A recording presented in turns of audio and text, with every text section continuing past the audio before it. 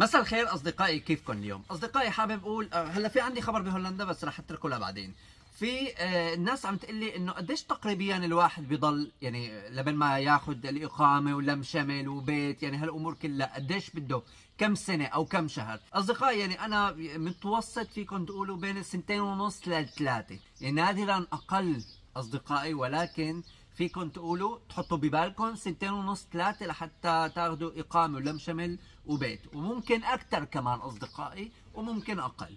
كل شخص بيختلف عن الثاني ولكن تقريبا بهالحدود سنتين ونص لثلاثة. هيك فيكم تقولوا.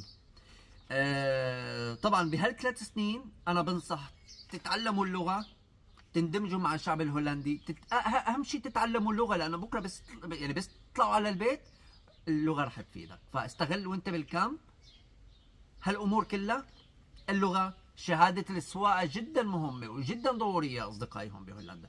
فأنا حبيت أنا أوضح. أصدقائي إجاني سؤال. طبعا هذا السؤال للناس اللي ما عندها فكرة.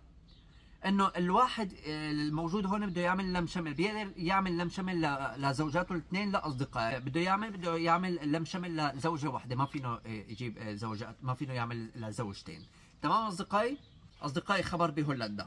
يتم استخدام اللحوم من خيول السباق المهملة بشكل غير قانوني في الوجبات الخفيفة عبر هولندا. وينتهي الأمر باللحوم خيول سباق إيرلندية وبريطانية المهملة بشكل غير قانوني في كرات اللحم الهولندي والكروكيت. وطبعا ما بينصحوا إنه الناس تأكل من هاي اللحوم لأنه ممكن هدول الخيول بتكون أخذة أدوية لعلاج الإصابات.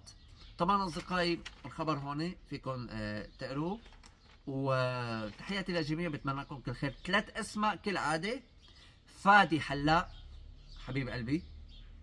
ميمي والشهم تحياتي للجميع ويسعد أوقاتكم.